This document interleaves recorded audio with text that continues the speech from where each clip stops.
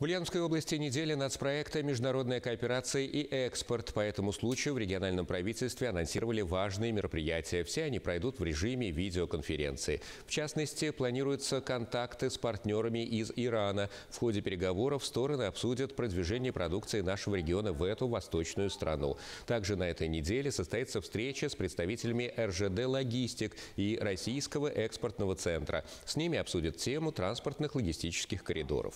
В прошлом году торговыми партнерами Ульяновской области стало 98 стран. Э, среди крупнейших торговых партнеров при экспорте 76 стран. Это Алжир, Казахстан, Соединенные Штаты, Беларусь, Азербайджан, Германия, Украина, Китай, Дания.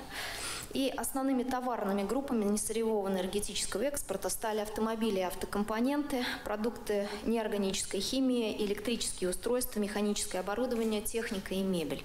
За 11 месяцев прошлого года внешнеторговый оборот области составил почти 1 миллиард долларов, причем почти половину суммы приходится на экспорт. Львиную ее долю составили не сырьевые, не энергетические товары. 323 компании сегодня являются экспортерами.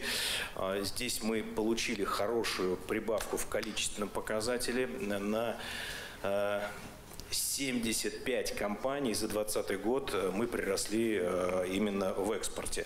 За рубежом пользуются популярностью мебель, сантехнические раковины и арматура. В большом фаворе также ульяновские крупы, а еще мороженое. В прошлом году на него также был спрос со стороны иностранных партнеров.